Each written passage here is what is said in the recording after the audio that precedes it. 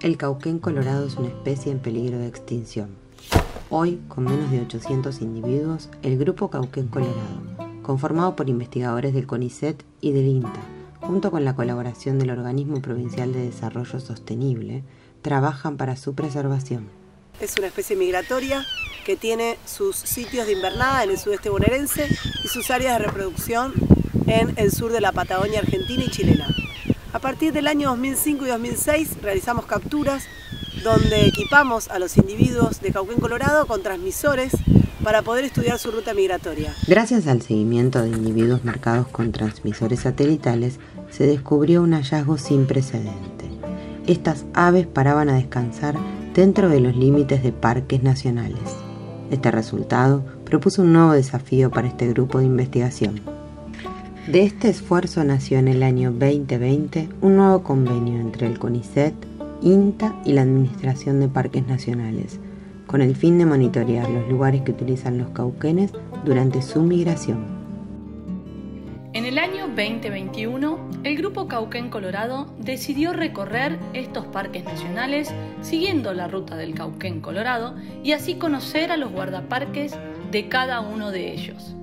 El primer parque que visitamos fue el Parque Interjurisdiccional Marino Costero Patagonia Austral.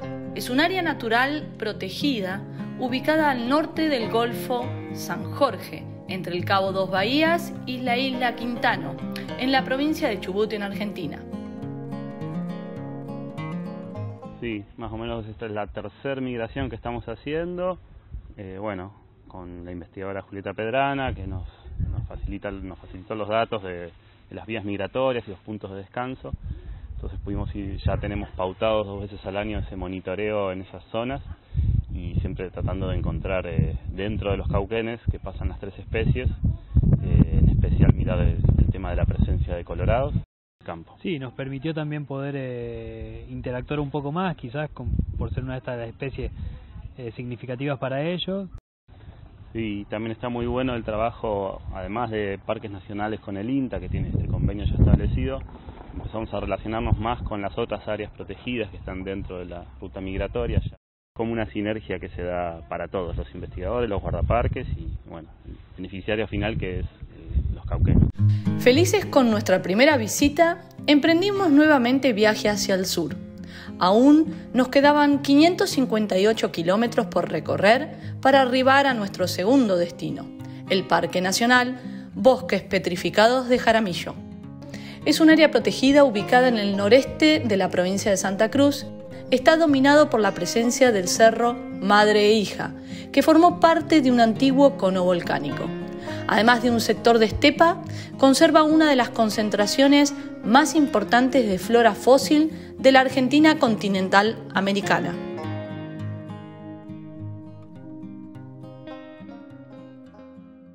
Acá estamos en lo que es el machine de el cuadro, una seccional de, del Parque Nacional, donde nosotros realizamos monitoreo de, fauna. Principalmente lo que hacemos acá es monitoreo de ralos antárticos, pero también realizamos todo lo que es otro tipo de monitoreo de, de, aves, por ejemplo cauquenes, y bueno, estos convenios que estamos que se realizó con, con INTA favorecen a lo que es el conocimiento de, de la área protegida, de su, de su avifauna, y bueno, todo lo que se puede llegar a hacer en conjunto con otras instituciones para poder conservar las especies que tenemos dentro del Parque Nacional. Eh, acá nos encontramos en la seccional Cerro Orqueta. Este machine está dentro de un proyecto de restauración, eh, el cual se, se encontraba muy impactado por todo lo que es ganado bagual exótico, caballo y vaca soy guardaparque acá del Parque Nacional Bosque Petrificado de Jaramillo. Junto a mis compañeros eh, hemos trabajado y colaborado en, un, en parte de un convenio que, que se conserva y se protege el cauquén colorado. Y bueno, acá eh, este parque es parte de, de, una parada migratoria, se ha tenido un, un dato. Y bueno, acá es súper importante conservar más que nada los machines para que cuando pasen eh, estos descansen y después siguen rumbo al sur y también en la primavera pasan para el norte. Así que bueno, eh, también nos dio la posibilidad de conocer más gente y conectarnos con otros parques. Nos despedimos para seguir la ruta del Cauquén Colorado. Nuestra próxima parada era el Parque Interjurisdiccional Marino Maquenque. Un rasgo particular de esta área protegida lo constituye la enorme biodiversidad marina. Entre los valores de conservación que tiene se encuentra el cormorán gris, la tonina hoguera, el delfín austral, la ballena franca austral, el elefante marino y el lobo marino de pelo. Nuestra última parada estaba a 160 kilómetros más al sur, en el Parque Nacional Monte León. Situado en el límite entre dos ambientes, el mar y la estepa, posee una extensión de 62.169 hectáreas. En la visita al parque se realizaron donaciones de material óptico para ayudar a los guardaparques en su tarea de monitoreo a campo del Cauquén Colorado. Además, junto al Grupo Cauquén, se han solicitado subsidios nacionales e internacionales para afrontar las compras de más material.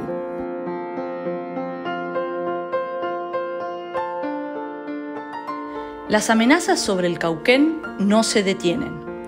Vos podés hacer algo para ayudarlo.